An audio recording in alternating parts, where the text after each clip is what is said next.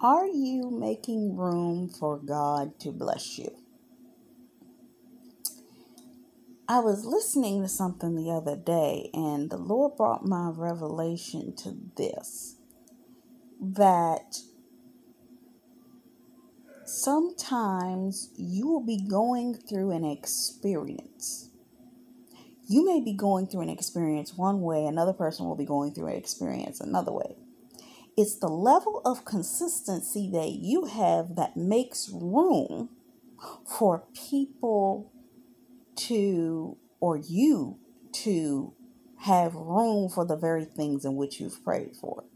But when you keep yourself at a level of availability to that degree, where you're opening yourself up to certain forms of attack, therefore, you are more so in a hustle mode and a hustle mentality.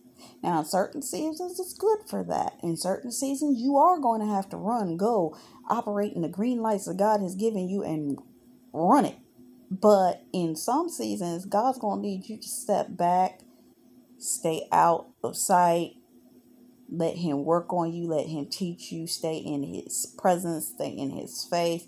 That way, you aren't not under uh, that level of scrutiny. Because the beautiful thing about recording video content is I can upload it when I choose.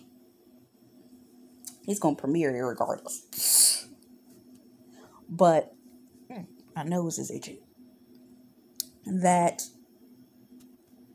I'm leaving room for God to do in my life what He needs to so that I can give to you what you need, if you understand what I'm saying. Because the reason you get so much content repetitively is because of the fact that I let God work in me and on my life meaning I pull myself back. Yeah, I might get a week's worth of content, two weeks worth of content, three weeks worth of content, and I put that up how God showed me fit that it needed to go.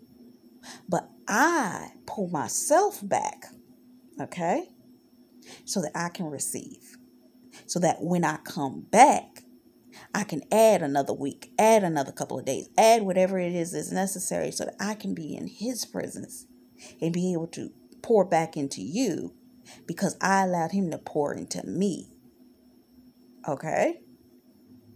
And with that being said, be prepared. I got something good for you. I'm trying to figure out when I want to put it though. But I got something good for y'all. Because the Lord had me watch a movie the other night. And as I started to work through the notes on that movie, as he sat me down and had me write them, man, when I tell you, I'm like, oh, I know this is going to be some good word. So understand a word's coming. Be prepared.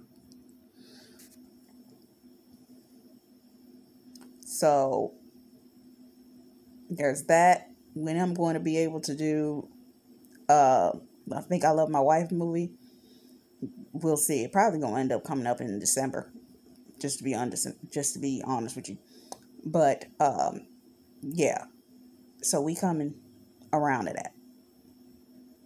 So get your eyes ready.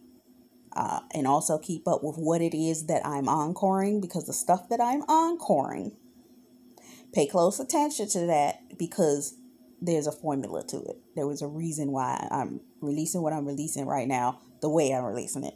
So pay it close attention. So until next time, much love, faith, peace, and blessings to you. Bye bye.